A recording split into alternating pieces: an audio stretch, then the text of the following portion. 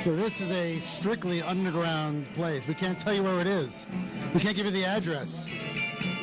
But uh, if you know us, we'll hook you up and then patronize this joint. Support them. Because this is the kind of cool things that make San Francisco what it is. And this is stuff we like to do too. Oh my god, throughout yes, says again. That was so good. Scotty's in the house. Reality check!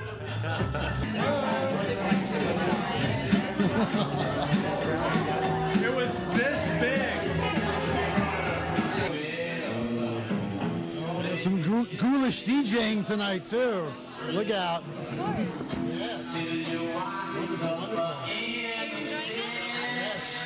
To raise the dead, I'm sure.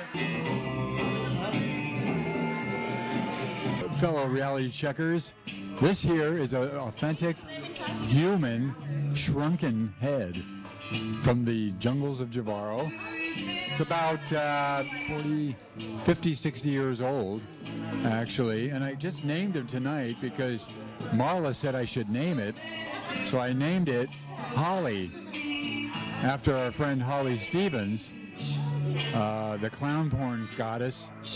You know, so but it's real. Tonight we're going to be talking with Shane Bugbee, the founder of All Things Strange. Uh, he was one of the uh, experts on John Wayne Gacy and other serial killers. Well, hello again, uh, folks out there viewing Reality Check. I am uh, Felicia, or tonight known as Lady Mortiz. I will be offering my titillating talents and expertise on the dead. So, stay tuned. My name is Shane. Hi, Shane. Hi, how are you? I've been doing underground um, communications for almost 30 years. So I've dealt with obscene books. Um, Anton LaVey, San Francisco, yo, yo, like, uh, yeah, uh, he, he, yeah, he, I was friends with him for a bit. I did the last interview with LaVey, and he made me the last, that was the last person before he died to, he made a reverend in the Church of Satan. So there's my history in San Francisco. Oh, too bad. Too bad that he made me a reverend. For me as a metalhead, it was a the greatest award of my life. You know, it's like how do you get better? You know, it's like growing up and selling my soul for the first Ozzy Osbourne solo record. Then Anton LaVey gives me this award. It was the, I thought it was the greatest thing that would ever happen to me. I worked with John Wayne Gacy. I helped him do a book when he was in prison. I worked with Richard Ramirez. I was good friends with Richard. He loved Asian porn, and you could actually send him Asian porn in his prison. San, San Francisco, baby. You can send Asian porn to dudes on death row, and that's what that's what Richard wanted. I want Asian porn and pictures of girls' feet, and that's what he liked. And you know, and, and so I liked him because he admitted it. He was like, I liked it. I liked every part of it. You know. So I worked with Dorothea Puente, a California killer. I did a cookbook with her. Yeah, and um, I worked with GG Allin. Okay, so I have some crazy, uh, I guess, stories and stuff like that. I'm hoping that you guys will uh, have questions to ask, and this could be just like a conversation. Because I really don't want to talk at you, really. Yeah, what'd you, what'd you do with GG Allin? I remember one time GG Allin, when he, when he got out of prison, he invited me to the show, and he was the nicest guy on the phone. He's much like El Duce or any of the underground folks that come off as real crazy. Um, GG Allin um, was like, come on, hang out at the show, dude. And I'm like, you know, I, I really cannot do that. Because at one time he told me, you get too close to the GG fire, you get burned. And one of my friends, Mark Hejnar, a filmmaker, he was doing a documentary with GG Allin, and literally I got to see some of the footage of GG beating the shit out of him and pulling down his pants and starting like stick his fingers in his ass and stuff like that. As a playful, like, hey, we're buddies, right? So I was like, you know, I'm just not getting close to the GG fire. we were we were cool, and I almost feel like I, I missed out on going to see him live. But then again, I, uh, you know, I don't need any of that. Okay, what about Gacy? Like part of his thing was he never wanted to be labeled gay or whatever it was. I'm not a homosexual. Uh, did he ever say, "But I was gay as hell, sucking this dude's dick" or whatever it was? Oh was? yeah, Gacy would invite people into the prison, like myself. Like I'd never go see him, just like I never went to see GG Allin. Um, and he would, when he got, he paid off the guards with all his painting monies. He'd buy frozen pizzas and shit like that. And when, when visitors would come to see Gacy, the guards would lock the door and he'd chase him around the room and try to rape him. So Gacy had a whole, he had an industry with those paintings. He, he really was running the death row thing, and he was able to get, he was able to get a young, uh, you know, an 18-year-old or a 20-year-old fresh, freshly convicted young man into his cell once a week, you know, for some frozen pizzas and paying off the guards. Getting to know Gacy, he loved every painting. He said he masturbated to. Every one of those paintings, he mastered. He dropped the load, based on hurting victim, hurting, re-hurting those family members. You know, re-hurting them. You know what I'm saying? So he really enjoyed making those paintings and getting them to people. Same with Thea. But the, the thing with Thea's thing is, she's a fucking old lady. How does no one in the world ever question that? How did the old lady drag these bodies into her backyard and bury them? I move dead bodies all day long, every day. And it's not difficult, and I'm not very big. You think? 200 pound, 300 pound guys? Yeah, they don't give me any help unless it's something I really can't move. I have to call a lifting team, but it's all technique. Well, but, but did you dig, then again, dig uh, six foot holes too? Well, I have exhumed bodies before, but you know, I mean, I did have help digging. You Yeah, know. Thea had help. I, I, I, I figure she had help and she, took- you know, I mean, Yeah. Let's. You know, it's all technique. yeah, she wasn't a crate builder either. There were people- Is that true that you have more weight in you when you die?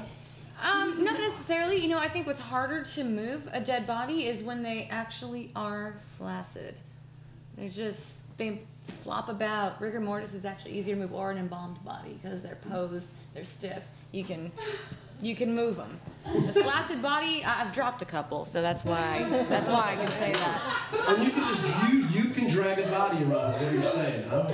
Yeah. Uh, You want to try to drag me across the floor? Not in these fields, baby. Okay. Last serial killer, I was like, oh, this is interesting, is BTK.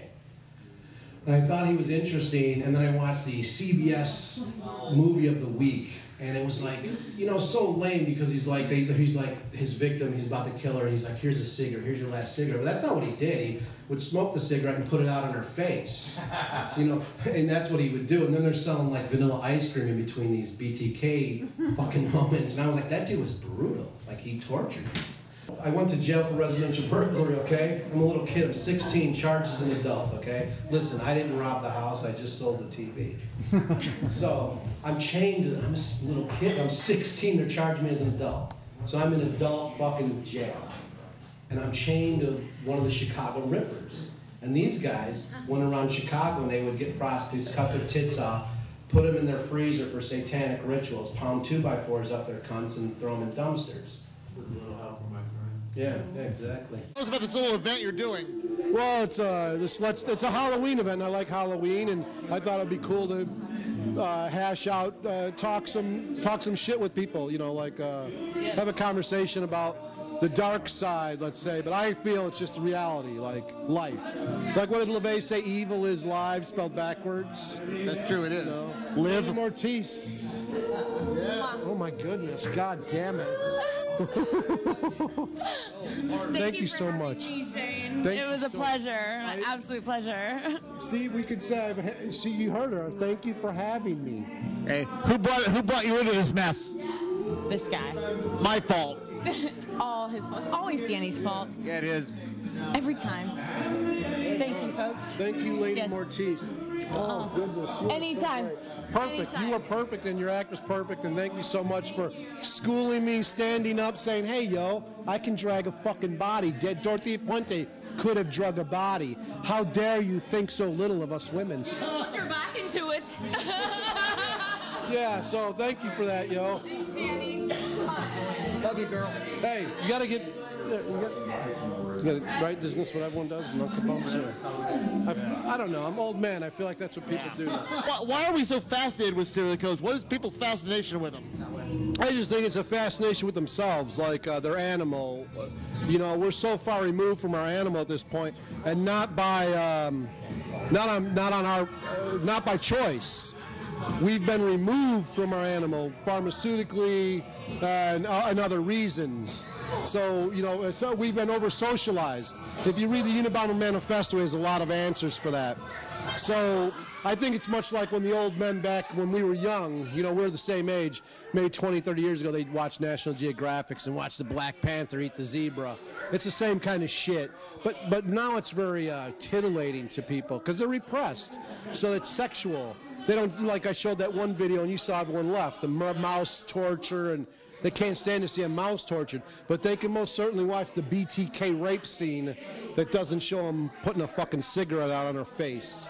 You know, and that to me is disturbing deeply. Like, people have lost touch of what what murder is reality. Like, you know, I don't. I don't know any of us that kill our own cows either. You know, it's it's all done for us. So it's sort of the same trip. We don't we don't kill our meat, so we don't get how. I love to eat meat. Yeah, but we don't get how brutal it is. If you had to kill your own pigs, you might eat less meat. Right. You know, because you'd see them, you'd be like, oh, that, that's Wilbur. Yeah. Oh, I don't know about, and you maybe, you know, like I know farmers, they kill their pigs, and it's named Wilbur, and they're like, it's a ritual to them. They're like, ah, this is Wilbur, he's good. He's feeding our family. But, but um, you know, buying it in the store is bacon, there's no name to it. You've got some new books out and stuff. It's a book and movie. They really go together. You got to have them both. So we don't really sell, we don't sell them separate. That's how it goes. So um, it's like a 350 page book and an hour and a half movie. It's, it's a part uh, our road diaries, living on the road for a year with only 180 bucks to leave, no credit cards, no nothing. And so that's that part of it. And then there's interviews with people like Ian MacKaye or uh, Mike uh, Williams from Eyehategod. You know, um, John Sinclair from the White Panthers. You know, was, uh, John Lennon wrote a song about him. So there's all that. There's interviews with people like that that we hung out with or cross pat. You know, a website. ShaneBugbee.com. It's new. That's right. Get all his good stuff and, and get the real underground shit right here from this man, my, my bro. Too much lights. Thank you. Thank you. All right, thank you, Shane. Great show tonight, brother. All right.